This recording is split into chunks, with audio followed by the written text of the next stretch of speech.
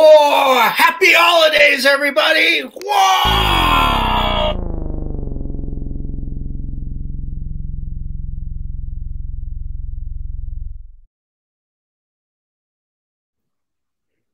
This is COFOH Live and Undead. I am your host, Daniel Crosier, and I am joined by Sean Renner and Cellista.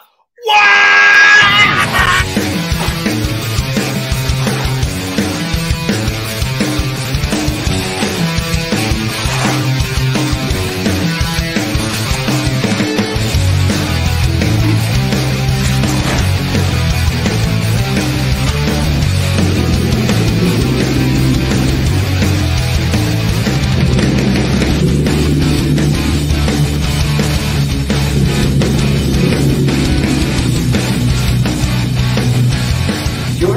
My face?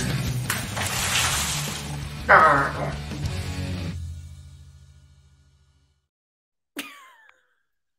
Hello, everybody. How are you guys? Oh, good. You're so weird.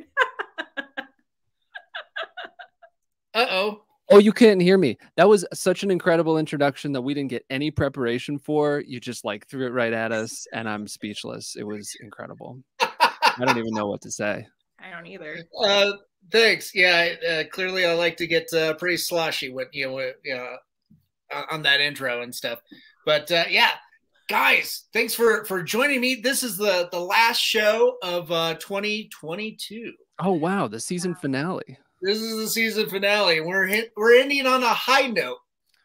So yeah, terrible. I know terrible puns. I'm just terrible of just bad dad jokes. That's all I'm chock full of.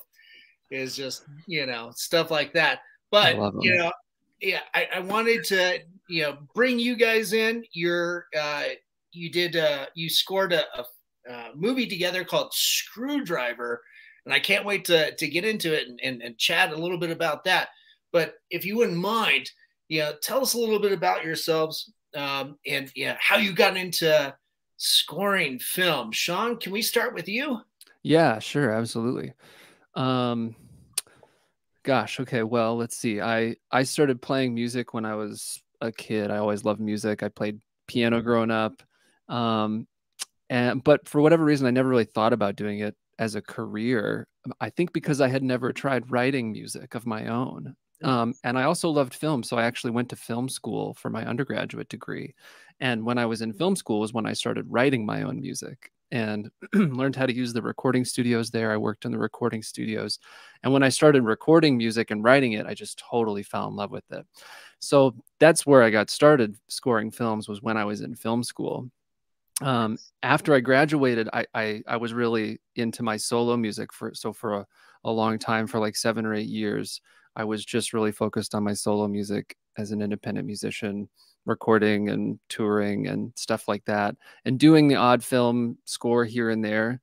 And I Yeah. think it was around 2013 ish that I really decided, you know, I think I want to shift things and I really want to focus more on doing the film scoring thing as a career.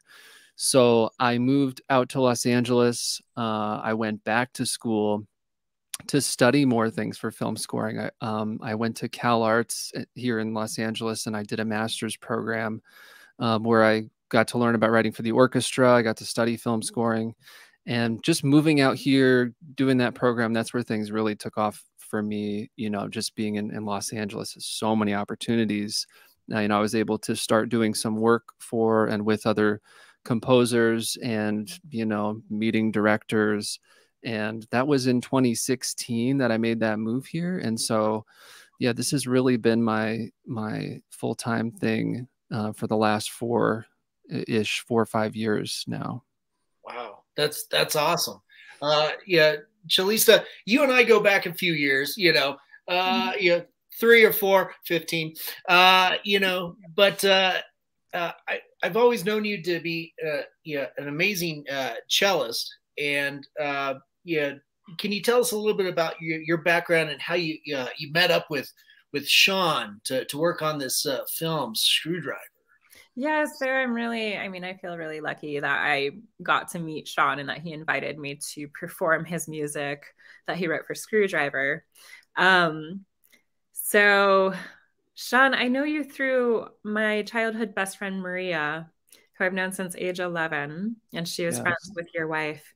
And I think that Maria, she was the connection for us. And um, when did you? So, Sean had been on tour with me for a few dates for my tour for Transfigurations in 2019. Um, and so we got to kind of do music that way. And then I moved to Los Angeles in the middle of the pandemic, found myself a rent controlled apartment by the beach in Santa Monica. And um, Sean reached out at some point saying, I have a film, it needs some cello. And we began the process of recording, and we recorded all of my parts at um, virtually, and I was at my home in Santa Monica. So it was a really cool very interesting recording experience because I laid down all those tracks and it was so cool to go to the screening and hear everything as a collective whole, all mixed and, and all of that. It was an incredible experience.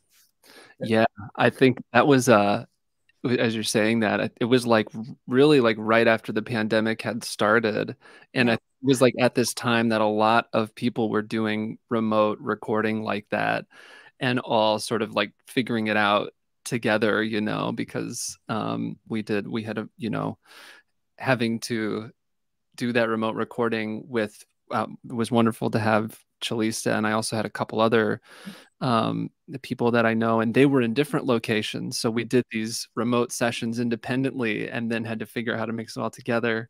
Uh, and then I remember at a time like reading an article, I can't remember what it was for a TV series or uh i can't remember what it was. There was a show that had just come out and the composer was this whole thing about how he was like gosh it's so crazy to record in different places and figure out how to and i was like yeah that's exactly what we were yeah. figuring out together you know? It was incredible because we were you had us using ableton as our our platform essentially and yes. we did several i think. Oh yeah, what is what is Ableton? Is that just like a like a Zoom platform, or is just or is that? Uh, like it's a DAW. It's a digital audio workstation. So there's a few kind of big recording production, music production platforms that people use um, right. for for music production in general or for film scoring.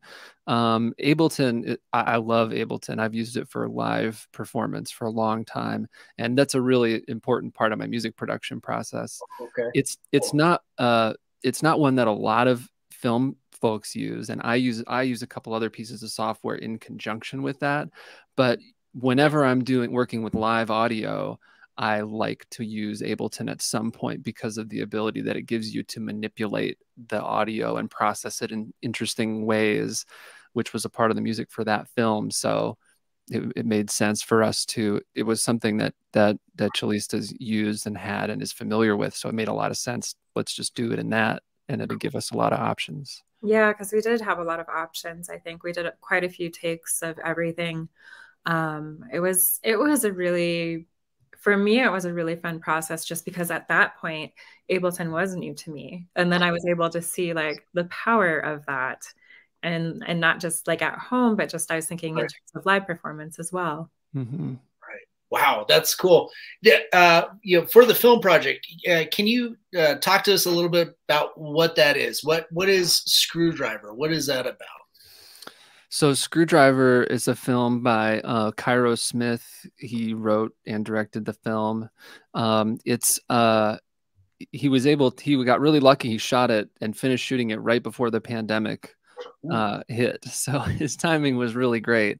Um, but it's it's basically it's a film about this uh, about a woman who uh, whose husband leaves her and she comes to Los Angeles to stay with an old childhood friend and his wife. They sort of take her in to take care of her in the midst of this separation.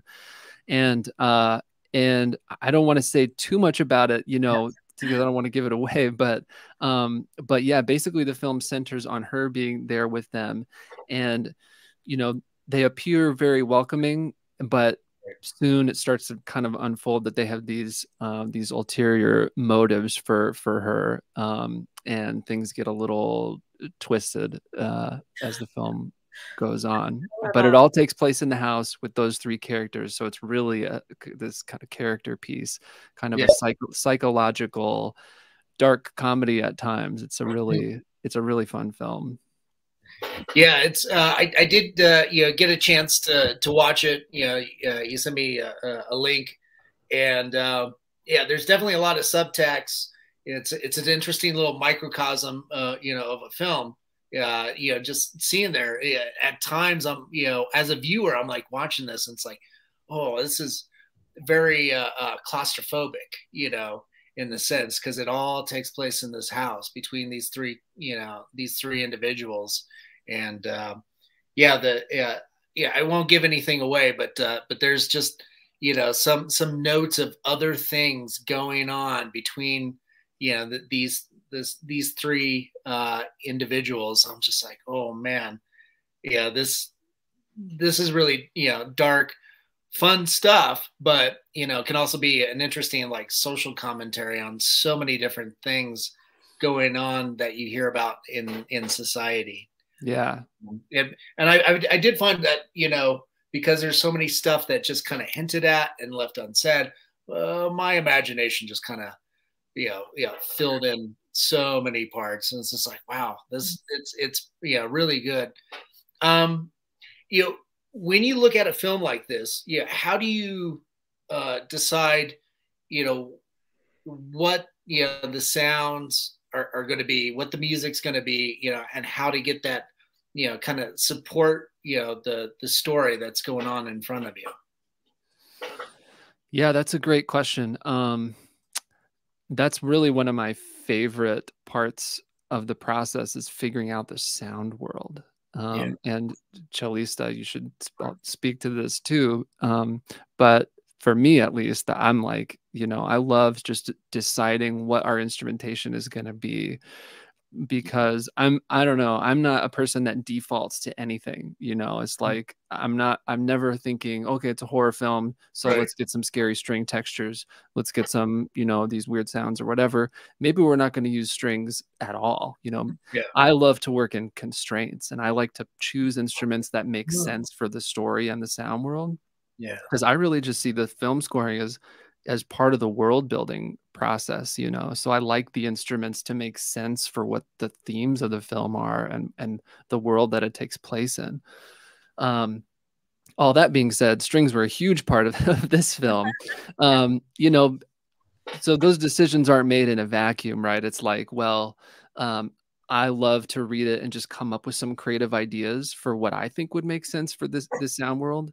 But then, you know, obviously the other part of that is conversations with the, the director about what their visions are for the sound. Um, and, and at least for me in my process, a lot of sometimes that that comes from well, these are some film scores that I like that have the same kind of a vibe or same same kind of emotional feel.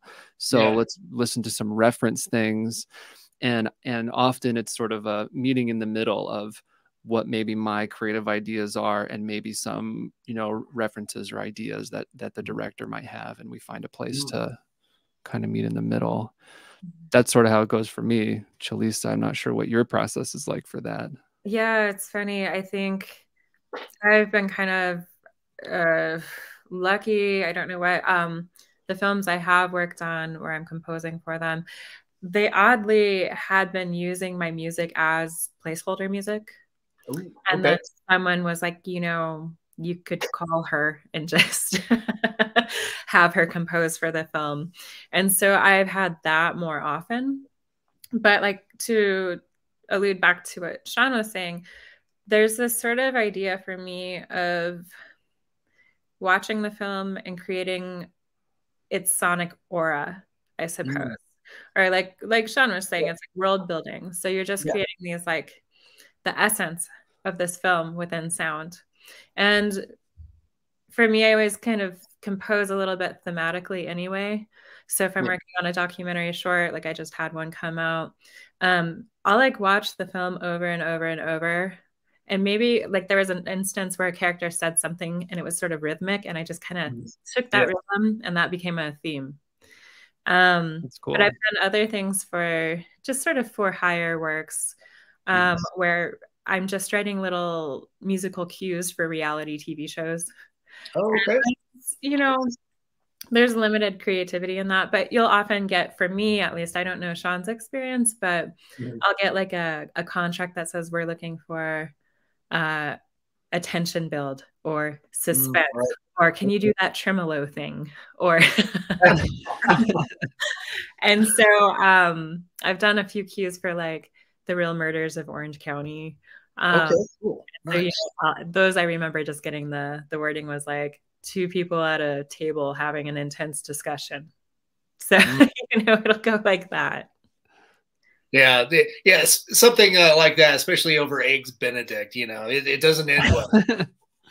Yeah, you know that's that's such an ideal situation where that that she's talking about where they um, use your music as the temp music. Mm-hmm. Um, that's a really that's a really nice place to be when you either get that situation or you get a blank slate you know where they say we just want to hear your ideas because right. it's it is it is common in a lot of film scoring for there to be a temp track with with mm-hmm. soundtrack there from other films that they like that's that's literally like they edited to that because they wanted something to edit to. Right. um and that that can be kind of a controversial thing. Some people love temp music and some some composers love temp music and some composers hate temp music you know? Right. Um and i feel like i fall somewhere kind of in between. I mean i think you know it can be a really great communication tool because exactly. you know it's it's very hard to to articulate with words what you want the music to do it's much easier to right. say listen to this yeah and whatever you know what that's doing can you do mm-hmm. what that's doing but in our own way you know right um i love it screwdriver though because i hear your voice so clearly in that sean oh, thanks it's so it's you and i love that it's retained all of you within it or it felt like it to me I don't know how you felt while you were composing, if you felt like you had to sort of adjust or. I appreciate that a lot. I mean, it was a really, it was a very like intense creative project because the music is very, you know, we're, I guess we're talking to folks who haven't seen the film, obviously, heard the music. So right. it's, it's mm-hmm. very, it has a very classical kind of a feel. You know, the idea with the score is that this couple, this home that she's in with this couple is this pristine LA townhome. And the, the theme with the film is that you know things aren't exactly what they seem everything looks beautiful and perfect and la yeah. and modern and and the things sort of digress so the idea with the music was let's do the same thing with the music so it has this very classical feel this classical it's all sort of acoustic um, orchestral mm-hmm. instrumentation kind of a small group of orchestral instrumentation that starts off very sort of classical and sort of mm-hmm. proper feeling and does the same thing. It sort of devolves, you know. Um, there were a lot of kind of things that we did to get that sort of a feel. Um, but but you know, to get that kind of a classical feel is you know yeah. it was sort of technically that's a lot of that's a lot of work to, to replicate that sort of a thing oh my gosh you should talk about the instrumentation i'm sure people would love to know yeah Sure. Yeah. Between the two of you, was it just uh, the, the two of you working on uh, the instrumentation, or did you bring in other musicians as well? Yeah, so there were a couple other. Um, so we had so the instrumentation is is basically like a small string ensemble, mm-hmm. and then uh, some small woodwind. I actually really just used a, hmm. um, a basset horn, which is like a little bit lower than like a clarinet, but lot, not okay. as low as a bass clarinet. Okay. Um, and then there's some piano and marimba, and then a few just sort of like drums. So it's kind of like a small chamber ensemble. Yeah. Um, but the idea was, well, you know, let's take that instrumentation, but then because what's happening in the story is that things are getting sort of warped. Her reality is kind of getting warped. Our idea of these people is getting sort of warped. Let's warp the the instrumentation in the same way where let's like yeah. pro- process it in a strange way mm-hmm. so it's still all acoustic instrumentation there's no synthesizers or anything like that but but you know through like pitch shifting and stretching and kind of things like that we're able to create this sort of warped version of that instrumentation that kind of lives behind it. So what we did for the for the strings is um cellista um did did the cello work and i had another friend james who did the bass work and another friend nigel who, who did the violin work. Cool. and we did two sessions. So the first session that we did was just to create some texture beds. So we just came up with like a list of here's there's a bunch of like texture ideas that we can do. Let's play this note and let's play it this way you know let's play that note this way this way this way this way. Now let's do another note. Let's play it all these different ways. And we created this basically this kind of library of textures. Yeah a palette right? A That's palette awesome. of textures that then then i could use to to write with those textures mm. and write the music and then for our second session we did more of what's like a traditional session where after everything had been written and we had some melodies and things like that to play then we you know we played those melodies um, more of like what a traditional film yeah. scoring session would be. But the reason that I wanted to work with somebody like Cellista is because coming up with all these interesting, you know, textures and things like that, you know, having known her and seen her work, she's mm-hmm. the first person I thought of to for mm-hmm. let's get weird with cello sounds. You know? That's good. Well, you know, it was very interesting for me. Um, we did all the recording and I didn't see the film until the screening. So it was really um it was exciting. It was just very yes. exciting to hear everything mixed and every all the ideas you told me, all the scenes you told me about because you were you always gave context for every scene. Mm-hmm. So that was really that was really something. That was really lovely to be sitting with everyone and like, you know, have it come together.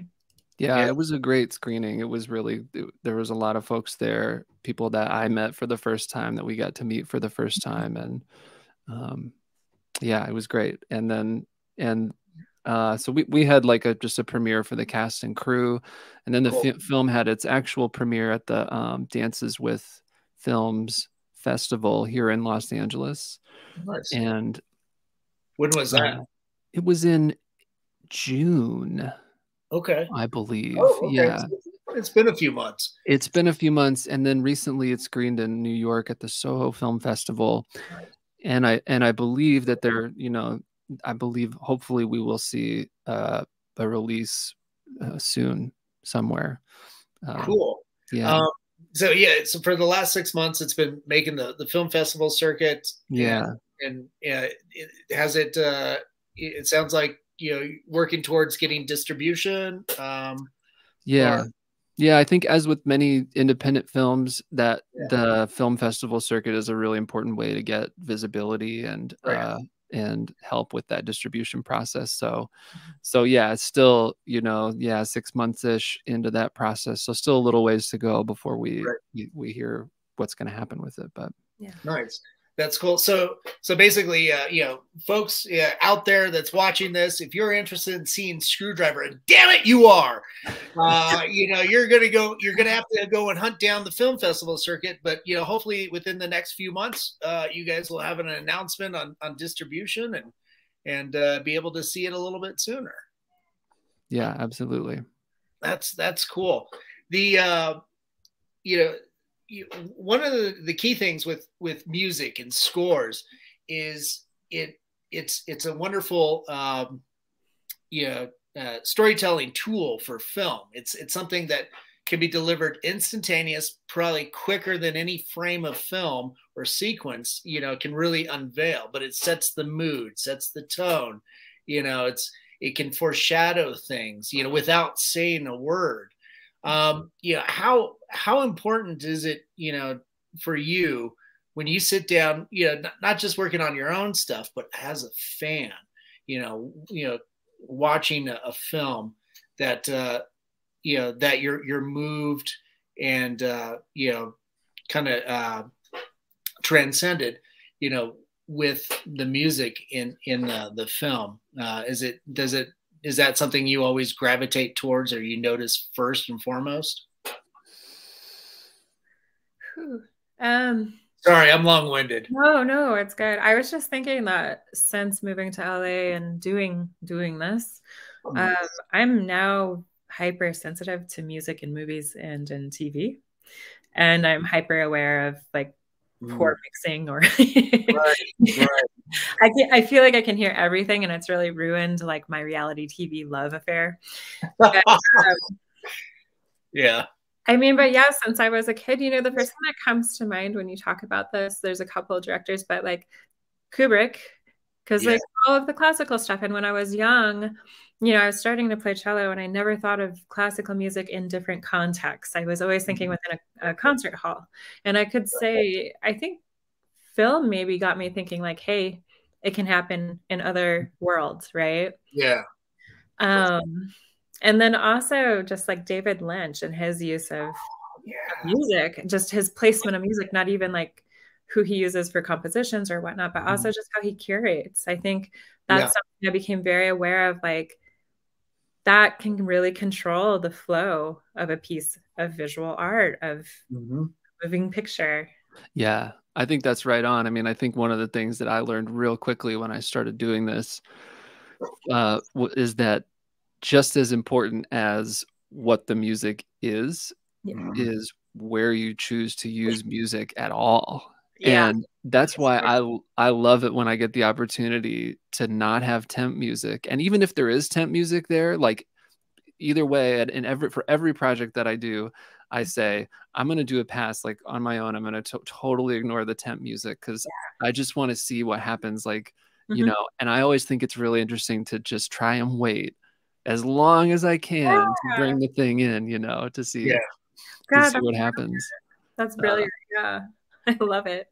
like in and in contrast to that i was just re- re- thinking that we just watched this film my wife and i watched uh ambulance the the michael bay film right, right. with Right. with jake gyllenhaal and uh you know lorne balfe did the music and he's he's incredibly talented he's he's fantastic but it was interesting to note that there's music everywhere in that film just like Mhm. end to end music Yeah. which is i you know i was like it's a michael bay film and michael bay is Gonna be stacked. It's going to be stacked right but that's that's Yeah. what he does and he's brilliant at it it's it's intense like all the way through you know Right. um another film that comes to mind like that that i love is uh uh good time um All right. Okay. that with- film Yeah, Oh. James uh, Pattinson, right? yes robert pattinson Robert Pattinson. yeah i love I that James film Pattinson's the the writer. yeah yes right um the guy who did that music oneohtrix point never he also did the, the music for their their other most recent film with adam sandler uncut gems Yeah. and that movie was both of those movies are the same way i mean he, he does this electronic music and it's just Yeah. like like with good time it was like just on the whole film it was like just go go go and it was so Right. intense and it works so Yeah. well you know Yeah. but That's yeah yeah, that that's one thing I got from Uncut Gems was the uh, you know, the anxiety is the, the the music, you know, not only the story and everything, but the music really set the pace and really made me you know, hyper you know, anxiety ridden. And uh, so you know, great great film. I mean, one Great of film. the best movies of that year. I think it just came out like what, 2 years ago. yeah uh, i think that's right ago. Um, but uh, but I, I remember it's it's one of those uh, scores and the pacing and everything that I had to. er- I think every twenty minutes I had to get up, pause it, go do something else for a couple hours, and then come back to it. yeah But but that's the point, you know. It's I, I think uh, not all great films need to be something that you you love and enjoy you know you know on on just like this you know more uh standard emotions but also understand that a good film can give you anxiety can yeah. really you know uh make you uncomfortable and stuff. And it's like oh man yeah and there And the interesting thing about that too is like that that music works so well with that to do that that way. But you can also have a film that has no music that does the exact same thing. right Um, what was in? Oh, I watched this film, uh, Dragged Across Concrete, Concrete, with i heard Mel, of it. Mel Gibson and Vince Vaughn, Oof. and that that movie has absolutely no score. Yeah. At all. It has a couple, I think, source pieces of music in it, but there's no score the entire time. It's just so dry. And right. in contrast, like that does something else. I mean, it really makes it feel real it yeah. you know because music can break the fourth wall in a lot of ways it sort of reminds us that we're watching a movie it's like if we're watching a horror movie sometimes when the scary music comes in it's scary but it's also like oh, it's just a movie right. there was like no score in that film yeah and it was just so gritty and just like man what's what's gonna happen you know mm-hmm. it it, it creates tension in another way when you don't have music yeah that's that's true the uh, uh, oh, we, we do have uh, a couple fans chiming in here. So uh, yeah, um, uh, this is G. Larry Brown. He's he's a, a film actor here. Um, he was in um, what was it? HBO's uh, um, winning. Is it winning season? No, winning time. The basketball uh, series with uh, oh um, yes, uh, John C. Reilly. Or, yeah, I think I'm I think I'm butchering names now, but um, but uh, yeah, he's yeah, he's he's he's a lot of fun. And then cool. uh, we've got uh, Ella Strange. Um, yeah, yeah, basically, uh, you, you guys are in, uh, very interesting and inspirational. You know, talking about you know music. Um, but he's suggesting that uh, you uh, announce uh, Screwdriver at COFOH and uh, send out a link. You know, when it's online. Cool. yeah. Absolutely. Yeah. But uh, yeah, you wanted to join in too on you know the background noise, uh, oh. perfect sound. You know, you know, mm-hmm. you know mm-hmm. what they consider as you know white noise. Um, yeah, is is that an option that you utilize? I guess some of that white noise can also be tone too. Yeah. I mean, there's always the, I mean, I always think of some of the sound composition is coming from the editing and from like Foley. Right. Um, I think that I worked pretty I worked with the person doing Foley on the last doc because there were points where I could like, you know, mix my sound into it or come out because everything has a pitch, right? Or it has yeah. a texture and it's easy to emulate. So if you're like opening a door, well, maybe that creak of the sound can be the sound of a cello. You know, it's a nice transitional right. material.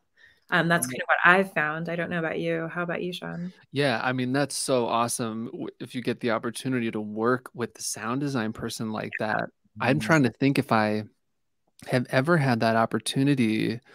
I mean, one, there was one film that I did where I got to be in the mix and uh-huh. for for like a week, which is also somewhat unusual for the composer to get to be a part of that mix, mm-hmm. you know. But but I haven't. I don't think I've had the opportunity to do that like when I was composing the music. But mm-hmm. every time that I'm working on a film, um, I always am thinking like, gosh, that would be great because right. it, it, it's strange how those those processes are really tend to be separated um it's weird to for, me for filmmakers every time i'm going man these things should we should be doing this together but generally i think what i have found my experience is that you don't get any of the sound design because they're doing it at the same time so you yeah. just have temp sound or you you just have scratch sound you know mm-hmm. and and you're really having to imagine um I, I've worked on this television series, uh, Das Boot, Das Boot, oh, okay. um, uh, for a, well since the series started. Um, I work with the composer Matthias Weber, uh, but that show, the reason I bring that up is because that show is so sound effect heavy. I mean, it's a it's a World War II action series. A lot of it, there's a lot of like you know stuff on the submarine, and there's there's you know action sequences with torpedoes and this and that and airplanes and um and you really have to just like that was something I had to sort of learn was yeah. they're gonna there's gonna be sound effect here just from mm-hmm. just from seeing what's on the screen to have to go okay yeah. this is the spot where there's gonna the sound effect's gonna be really really loud you know mm-hmm. so I need to anticipate that that's gonna be there even though it's not there yet and compose something that's gonna not compete with it but mm-hmm. is gonna live with it right yeah, there's, an action scene where it's they got a huge Gatling gun, you know, and it's ja, ja, ja, ja, ja, ja, ja. maybe I don't want to go ja, ja, ja, ja, ja with my drum yeah. because they're going to yeah. be living in the exact same place, you know. Right. right. Do something. But it's cool though because I think from that, like what I found with my last doc is like those were things where I could take like themes like a rhythm because there's a rhythm in that right and i remember just writing the opening of this doc and i had heard in the first pass of everything like these seagull cries and so i just copied those and then I requested that they overlay it with each other. Um, mm. But I think I'm guessing that I'm lucky on this one. that's, that's cool. I love this kind of stuff because see, I feel like I'm getting ideas and I'm learning from you. That's a really cool idea to just like listen to the sound that's in there and right. hear it as music and kind of yeah. come up with your ideas based on that. But don't you feel like that's what i mean for me that's kind of the beauty of having gone to school for it for a little bit because in some ways you're able to transcribe that or you're able to mm-hmm. i don't know you might be thinking about it a bit more because that is a compositional practice. Yeah. So since you know like vivaldi did it in the four seasons with like echoing bird calls and mm. it's a thing. Yeah that's super cool. That's, I feel like I tend to find myself gravitating towards like emo the emotion like yeah. i'm not like listening yeah. as much but i, I love this because i feel like it's a cool idea but mm-hmm. I, I feel like i tend to, to write more from just trying to take in like what the feeling is and kind of yeah. seeing what what comes out based I like that too, though. I think I'm kind of in both spaces at the moment as I do more of this. I'm finding my own process, but a lot of it's just sitting with the film and almost like watching it and watching it and watching it until, and then I'll go to the cello mm-hmm. and I'll come out, but I record everything. I, I'm like so into the first time that I watch the film. Oh, for me, is like super important. I'm always like, I always tell the okay. directors, whoever that I work with, like, yeah, I want to watch it, but like, give me a, a minute. Like, I just, I want to make sure that I have all my tools in front of me because, mm-hmm. like, that first initial reaction, the stuff that comes out, you know, yeah. so often there are things in there that end up like being, huh, you know, that's so cool. making it in. I'm like, I just want that like knee jerk response. Uh, yeah. I always try to discount my knee jerk because I find really? that at the end, I, it's just because it's my own process. But yeah. like, um, I'm too, I'm taking in too much and I'm kind of outputting garbage. Uh-huh. So the more I filter, yeah, I'll get, and very often I'll end up at the beginning again, but I do have to have that repetition of just inhabiting the space for a long time. Yeah. Um, which makes me a really slow composer, but I mean, I'm, we're like in the ideal world, you know, we have like I've been working on this podcast that is actually just finishing for like a year, scoring this this podcast, wow, and cool. that was luxurious because there was mm-hmm. basically like a year from the time that I got the scripts until I think I think until the first one launched or almost that. So I just had tons of time to come up with uh, so many ideas. Ah, that's great. And there are times when I'm like, sometimes in that process, I'm like, this is so nice. I get to come up with 50 ideas and pick out the best ones, you know. Yeah. And then there are times where I'm like, oh man, I wish I didn't have this much time because now I've got 50 ideas, you know. Yeah. I uh, wish I had like, you know, a month and then I just had to like go with my gut. yeah. But I think you end up going with your gut either oh, way. Oh, yeah. Just right. you end up there a, di- a different way. I was wondering though in your process or what you found, have you I mean you must have had times when your vision was at odds with the director. And like for me, like when I have that stuff, I I think I've been working so long, it's very easy for me to like it's okay.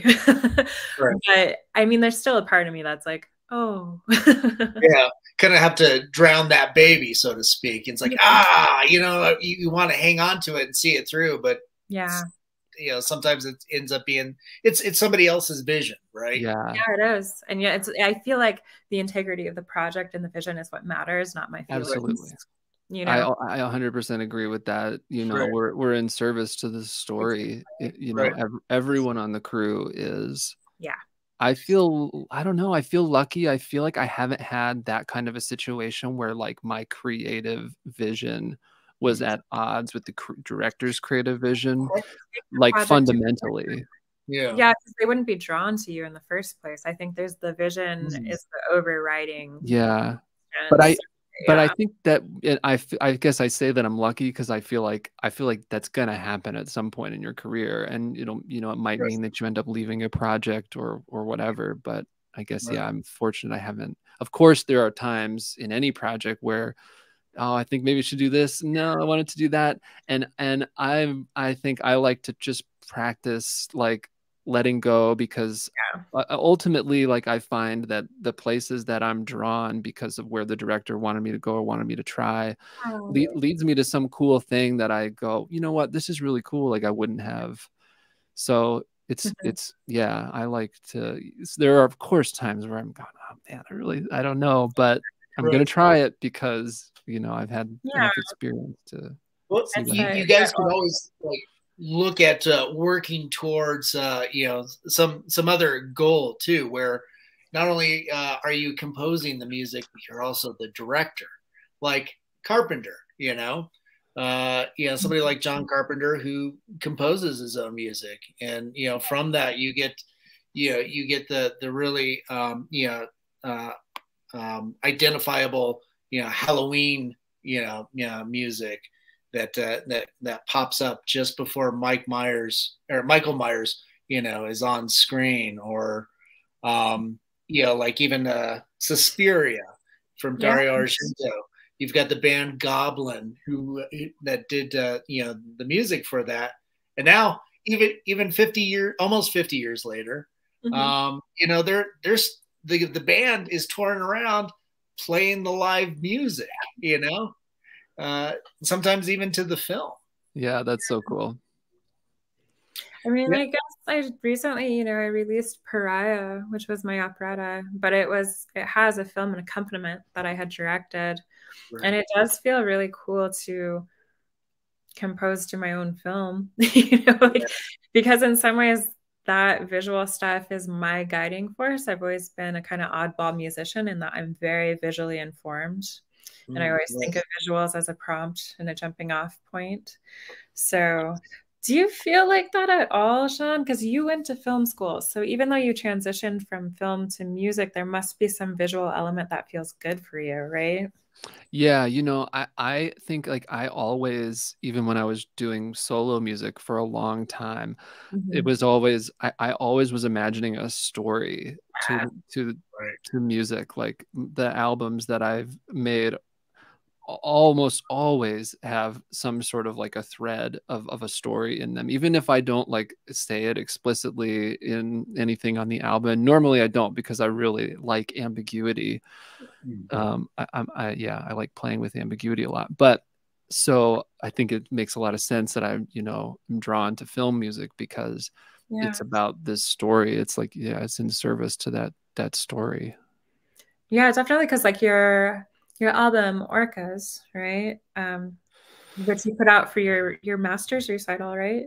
Yeah, yeah. That I, that was an album I started recording in Denver, and hmm. uh, when I went back to school, uh, continued to work on it, and then when I was yeah when I was in the program.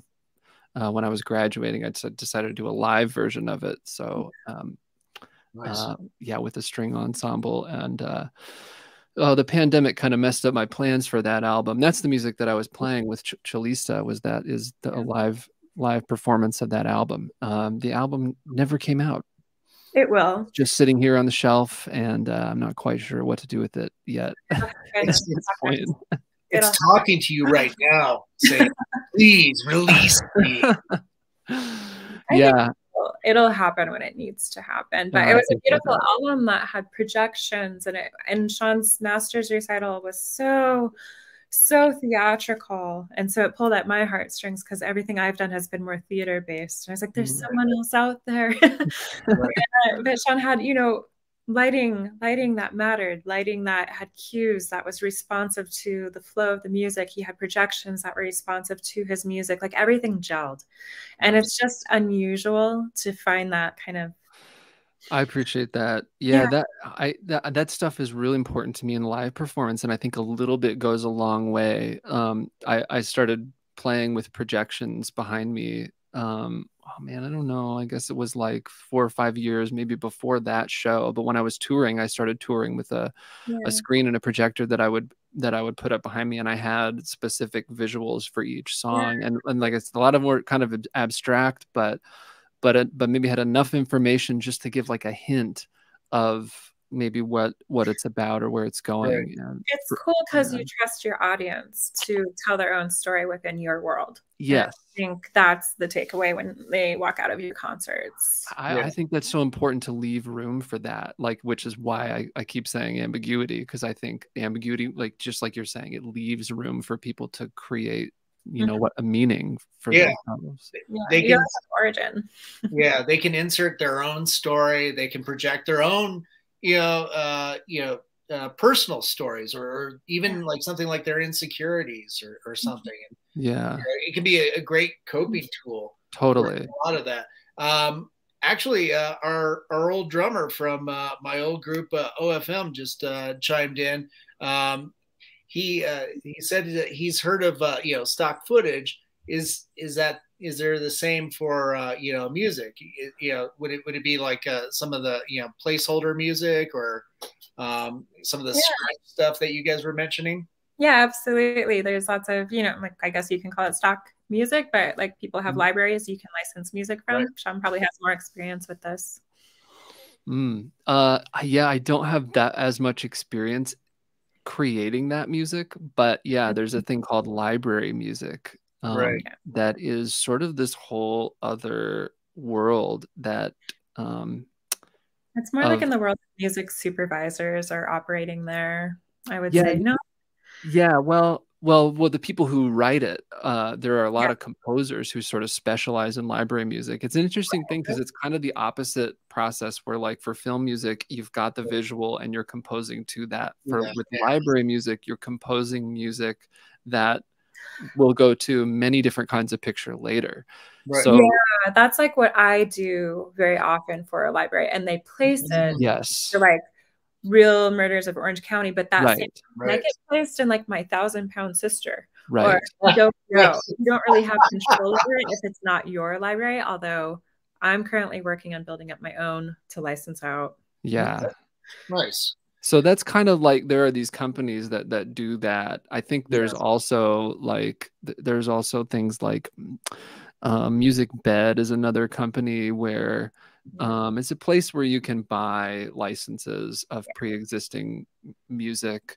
Um, I don't know that it like I from what I know of library music, it has more has a lot of times it has this sort of like a format, right? That it that it has like do A with a build and do a B section with a build or do Yeah, section with a I build think it kind kind of depends on the library too. But that, I mean, that's, I mean, I do some of that, but that's not totally my world either. Yeah. So, Wow, that's that. Yeah, that's that's pretty interesting to hear. We uh, we're just about out of time, but uh, yeah, I've just got one more uh, quick question. Um, what's you guys' next project? Uh, do you have another film in the works? I know, uh, you know, uh, Cellista, you've got uh, a, a new um, uh, documentary short that uh, that you, you've uh, composed music for, and uh, yeah, yeah. I'm currently at work on a theater piece called Elegy. It's based on The Little Match Girl. So it's set for cello and loop station, silent film, and then I'm performing on static trapeze. Oh, with wow. the idea being that the static trapeze acts as this perfect kind of prop. It can be, you could Uh-huh. look at it like it's a window or Wow. a door or something you step through or fall through or go around a rope. So that's my main prop for this theater piece. And that's supposed Cool. to happen in about one year because I'm Cool. training. I have to train for this, which is Yeah. That's awesome. Awesome. Oh, that's amazing. Sean, how about you? Uh yeah, so the this podcast um the the oh what is today? I don't have my watch on. What is today? It's Wednesday. It's Wednesday. So the last episode of this podcast, the podcast is called The Madness of Chartrulian. Um and it's on anywhere you get podcasts. It's like it's like a full cast audio drama. um it's it's kind of a sci-fi drama sort of game of thronesy thing anyway yeah, i've been working on that for about a year the last episode of that is coming out now um so that's been a big project hopefully that is there i think there's going to be another season of that maybe. We'll see. I don't know. Um but uh but yeah you can listen to that now.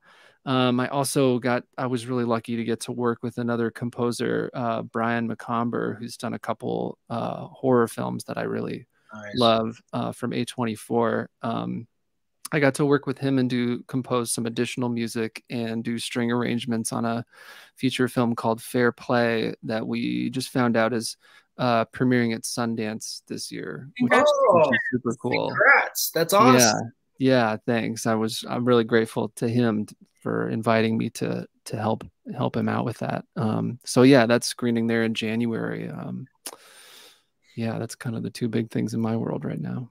My God, that's that's awesome. Yeah, you guys are you know just making amazing works. Uh, yeah, Cellista, yeah, performing, you know, doing trapeze. Good God. yeah. I'm not doing anything anywhere near that impressive. yeah. We'll see.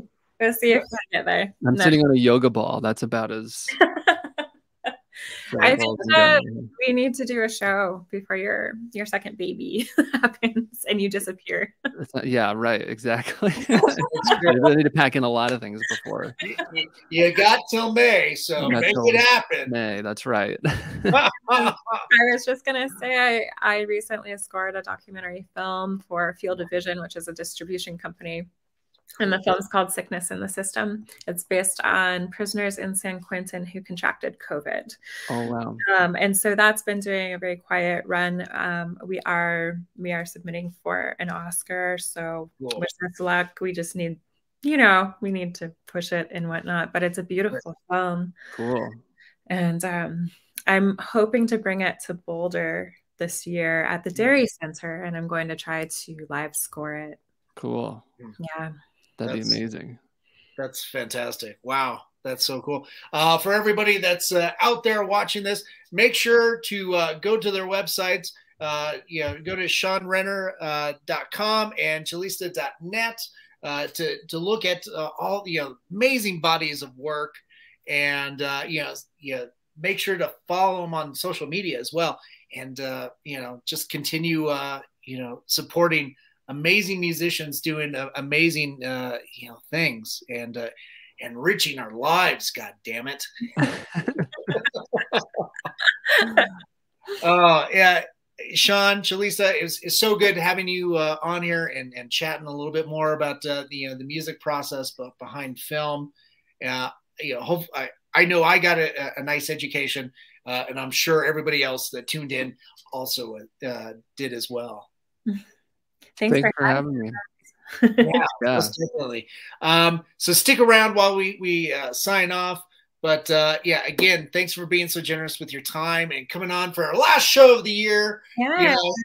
So we did happy it. holidays, everybody. Uh, happy holidays. a new kid coming on the way. and, uh, man. yeah, yeah. Yeah, good luck with the sleepless nights, right? Ah, thank you. I've had a little bit of practice, so I'm training. Okay. Okay. Excellent. Excellent. so cool. All right. Uh, and of course, uh, you know, thanks to our sponsors, to Mutiny Information Cafe. If you're going to start a revolution, make sure you're caffeinated. And uh, our friends at Hellfire Entertainment, thanks for rebroadcasting this on your social media uh, Groovy TV, and of course our friends at uh, Alien Donut Films, to Bill and Angela over there, and my producers, uh, Steph in Santa Cruz and Amanda Armstrong, and uh, to everybody that tuned in. Have a good, safe, happy holidays. You know, Merry Christmas and all that great nonsense. And uh, we'll we'll see you. Uh, I think we are returning uh, next year on the 11th with uh, actor uh, Heath Haynes, who's been in uh, Bored as Hell, playing uh, playing Satan. So that's always fun, nice. you know. Uh, but uh, yeah, everybody out there, thanks so much for tuning in. Be good, be kind, help each other out during yeah. these tough times. Stay spooky and uh, happy holidays.